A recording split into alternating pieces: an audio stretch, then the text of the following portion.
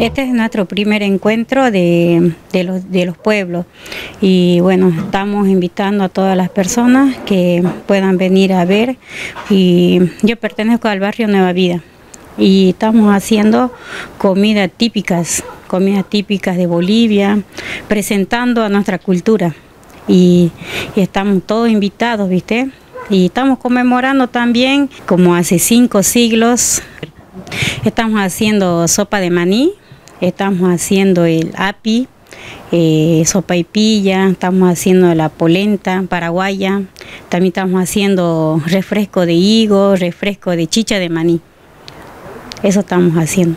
Y la mazamorra. Y bueno, le esperamos a todos, ¿no? Eh, todos los vecinos y vecinas y eh, todo el pueblo de Vietma.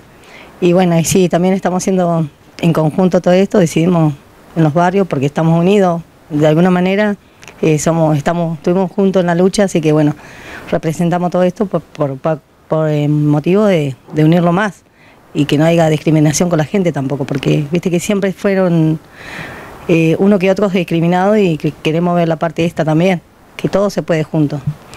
Y después, bueno, eh, el tema de las comidas, más que nada para que la vengan a probar. Son ricas las comidas, sí. Y nosotros vamos a representar la comida chilena, que es eh, eh, poroto con rienda.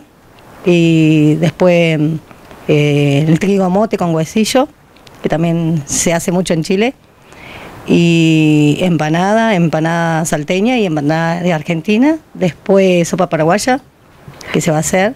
y bueno nos invitamos que vengan todos. Y el picante de pollo, que me olvidaba.